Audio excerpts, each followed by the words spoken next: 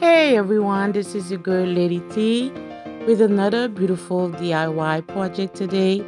And it's very affordable for you to make this beautiful um, door swag or centerpiece. If you have some of the stuff at home, because I had some of the stuff at home already, and I also went to the Dollar Tree store and I bought those four Christmas trees, the little Christmas trees at the Dollar Tree store to make this project today and you will also need a foam to stick in your trees in the form and some glue gun and some glue stick in your ornaments and your poinsettias you will need for this project. Everything we purchased from the Dollar Tree store and Michael's will be using in this video. So the video is very short, it's not a long video so I won't be too too much talking on this video.